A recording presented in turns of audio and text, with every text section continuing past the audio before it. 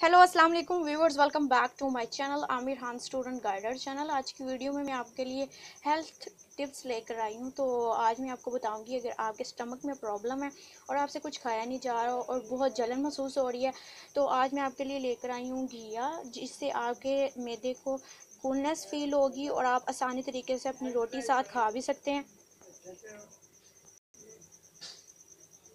और अगर आपके पेट में भी तजाबियत है और आपको सालन नहीं खाया जा रहा तो आपने ये यूज़ करना है। आज मैं आपको बताने लगी कंप्लीट वीडियो एंड तक देखें तक आपको तमाम डिटेल्स जो हैं वो समझ में आ जाए। यहाँ पर मैंने एक मीडियम साइज़ का घिया ले लिया और दही ले लिया हमने। पाव से कम दही ले लिया तो आधा पाव दही ले लिया। तो आज मैं आपको सारी तरीका बताऊँगी डिटेल के साथ, लेकिन अगर उससे पहले अगर आप मेरे चैनल पर नहीं हैं तो please subscribe my channel and press the bell आइटो, icon, ताकि फॉर मोर लेटेस्ट वीडियोस की अपडेट्स आपको मिलती रहें। हमें सपोर्ट करें, हमारी हौसला अफजाई मिलती है, और लाइक करें और कमेंट करें। अपना फीडबैक दीजिए और सब्सक्राइब करने के बाद घंटी को दबाना मत भूलिएगा और शेयर करें अपने फ्रेंड्स एंड फैमिली के साथ ताकि उनको भी हेल्थ केयर टिप्स की मेकओवर्स की एंड कुकिंग की वीडियोस एंड स्टडीज़ के related Allama Iqbal open university की तमाम अपडेट्स मिलती रहें। चलिए आज की वीडियो को बिना किसी देर के करते हैं स्टार्ट यहाँ पर मीडियम साइज़ का मैंने घिया ले लिया, दही ले लिया सोल्ट ले लिया अपनी टेस्ट के मुताबिक और काली मिर्च पाउडर वो ले लिया।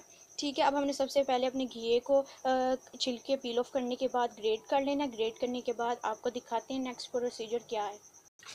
ये देखिए, आप अपने ग्रेट ग्रेटर्स कोई भी ग्रेटर लेकर अपने घीए को पील ऑफ़ कर दें। हम यहाँ पर सारा अपना पील ऑफ़ कर लेंगे। ये हमारे पास ग्रेड हो जाएगा। उसके बाद बताते हैं नेक्स्ट प्रोसीजर क्या करना है। लेकिन उससे पहले मैं आपको बता दूँ कि मैंने अपनी वीडियो अपलोड की है कि आप अपने स्टमक को किस तरीके से बिल्कुल सही कर सकती हैं। तो उसकी वीडियो मैं लास्ट में डाल दूँगी तो आप वो कार्ड को क्लिक करके वो वीडियो देख लेना। डिस्क्रिप्शन बॉक्स में भी आपको वो लिंक मिल जाएगा। तो आप वो वीडियो को देख लें और बाकी तमाम वीडियोस मेरे चैनल पर अवेलेबल हैं। उम्मीद है कि आपको मेरी सारी वीडियोस पसंद आएँगी। चलिए इसको सारे को ग्रेड कर लेते हैं, उसके बाद बताते हैं नेक्स्ट प्रोसीजर क्या करना है। ये देखिए हमने ग्रेड कर लिए ग्रेड करने के बाद हमने इसको चूल्हे पे चढ़ा दिया। अब हमने अपना पानी ऐड करना बिल्कुल थोड़ा सा पानी ऐड करना है जिसमें ये गल जाए। बिल्कुल मतलब कि हाफ़ कप से भी बिल्कुल कम। पानी हमने लिया, अब हम फ्लेम ऑन कर देंगे।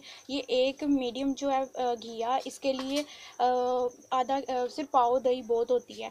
तो उसके बीच में आप ऐड करें, इससे आपको ये ठंडा होता है तो इससे आपको हाथ पाँव जल लें और जो कुछ भी हो तो आप ये यूज़ करें। आपके हाथ पाँव की जलन, मैदे की तसाबियत, पेट की मसला सब दूर हो जाएगा। आप ये यूज़ किए रहें। और हमने फ्लेम को ऑन कर लिया तो इसको अब हम इतना पकाएँगे, ये गल जाएगा और इसके बीच में बस चुटकी हम काली मिर्च पाउडर अपना ऐड करेंगे बिल्कुल हल्का सा। सिर्फ़ फ्लेवर के लिए हम थोड़ा सा ऐड करेंगे और सॉल्ट भी अपने टेस्ट के मुताबिक, ये देखिए बिल्कुल थोड़ा सा पिंच हम ऐड करने लगे हैं। ताकि थोड़ा टेस्ट आ जाए, ताकि मुँह का जायका भी आपको बिल्कुल भी महसूस ना हो और साथ हम सॉल्ट अपने टेस्ट के मुताबिक ऐड कर देंगे।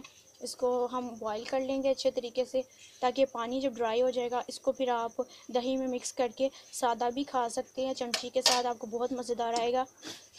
और अगर इसके साथ आप, क्यूकम्बर यानी कि जो आपका क्यूकम्बर यानी कि आप वो ऐड कर लें और उसको ग्रेट करके ऐड कर लें तो उसको बड़ा अच्छा टेस्ट इन दोनों का फ्लेवर बहुत मज़ेदार बनेगा। तो अगर सिंपल ये भी डालेंगे तो अच्छा लगेगा, अगर वो भी डालेंगे तो वो दोनों मिलाकर आप कर सकते हैं। तो मज़ेदार सी आपका ये एक सैलड के तौर पर आप दही खाएँ और आपकी सारी प्रॉब्लम्स जो होंगी वो दूर हो जाएँगी। अब हम इसको इतना पकाएँगे, इसका पानी खुश्क हो जाए और ये गल जाए, उसके बाद इसका कलर चेंज हो जाएगा, उसके बाद आपको दिखाते हैं। घी के और भी बहुत सारे बेनिफिट्स हैं। जैसे कि अगर आपके हाथ पाँव बहुत ज़्यादा जल रहे हैं तो आपने ब्लड प्रेशर हाई है बहुत से पेशेंट ब्लड प्रेशर हाई के मरीज़ होते हैं। कईयों के हाथ पाँव बहुत ज़्यादा जलते हैं तो आपने क्या करना है? घिया लेना है, उसको स्लाइसेस करने हैं और उसको अपने पाम में, हथेली में जैसे पैरों की हथेली जो होती है, तली उसमें जैसे। तो इससे क्या होगा कि ये ठंडा होता है तो ये सारी जो गर्मी है ये घिया चूस लेगा और जो आपके हाथ पाँव जल रहे हैं उसकी गर्मी को उठा लेगा और दूर हो जाएँगी। तो आप ये इसके बहुत सारे बेनिफिट्स हैं इसको खाने के भी और इसको इस तरह से अप्लाई करने के भी। चलिए ये अब हमारा जो है कलर चेंज हो रहा है, बस थोड़े से मिनट्स और पकेगा, उसके बाद रेडी हो जाएगा, फिर इसको आप दही में ऐड करके खाएँ इट्स अमेजिंग ये देखिए अब सारा इसका पानी ड्राई हो चुके हैं। अब हमने फ्लेम को ऑफ़ कर देना है और इसको ठंडा होने के लिए छोड़ देना है।